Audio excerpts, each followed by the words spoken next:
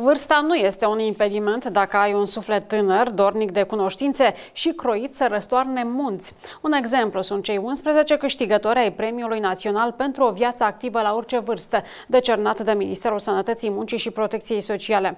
39 de dosare au participat la concurs. Printre premianți se numără și Ștefan Manic, singurul om de știință din Moldova care studiază ciupercile. Bărbatul și-a dedicat 50 de ani din viață micologiei, iar la vârsta de 68 de ani a reușit să-și susțină și teza de doctor în științe. Imaginea pălăriei, deci se vede rămășițile la uh, valul uh, deci, parțial. Ștefan Manic este pensionar de 8 ani, însă nu intenționează să se lase de marea lui pasiune, ciupercile. Fiecare specie este examinată la microscop și descrisă amănunțit, inclusiv copacii sub care poate fi găsită și condițiile climaterice la care poate apărea. Acum în pădurile din Moldova nu există ciuperci din cauza secetei, însă bărbatul susține că mai are rezerve de material pentru cercetare colectat anii trecuți. Ștefan Manic se ocupă de micologie din anul 1971. 25 de ani i-a lucrat în rezervație naturală Codru și tot atâția la grădina botanică. A îndrăgit ciupercile încă din copilărie, inclusiv cele otrăvitoare. A preluat această pasiune de la tatăl său și el pasionat de această ramură botanică. Eu plecam singur, veneam cu coșul plin cu ciuperci. El se uita în coș, spune că el imediat îmi, îmi spunea de unde le-am, le-am cules, aproximativ, și el, bă, absolut, asta ai luat-o de, de acolo, pe asta de acolo, fiindcă el cunoștea foarte bine locurile în aceasta. Dar pentru dânsul ciupercile erau cele care sunt comestibile.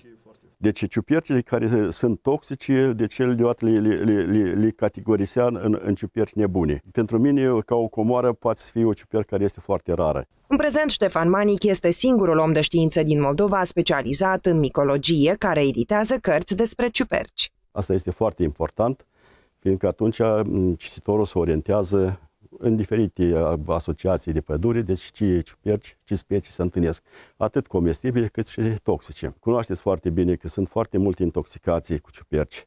Chiar anul acesta, deci a fost uh, un caz tragic la rezina de o familie din patru persoane, dintre care două au, au Tipurile de ciuperci care cresc în Moldova sunt în continuă schimbare. Unele specii dispar, altele apar. Cu câțiva ani în urmă, Ștefan Manic a descoperit lângă casa sa o ciupercă nouă pentru țara noastră. Aceasta va fi inclusă în noul volum Flora Basarabiei. Cercetătorul lucrează în prezent la al șaptelea volum din această serie. În total, peste 800 de specii de ciuperci vor fi descrise în lucrare, sau de aproape două ori mai mare decât în lucrările anterioare. Ștefan Manic a început să scrie lucrări științifice abia când s-a pensionat. A fost coautor și la Cartea Roșie a Țării, publicată în 2015.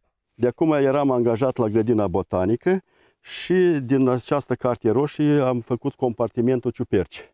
Deci aici sunt incluse 15 ciuperci deci care sunt periclitate și ocrotite de stat. Concursul Premiul Național pentru Vârstnici pentru o viață activă la orice vârstă are loc în fiecare an cu prilejul Zilei Internaționale a Persoanelor în etate. În anul 2020, concursul este la cea de-a patra ediție. Începând cu prima ediție până în prezent, au fost premiați 40 de candidați.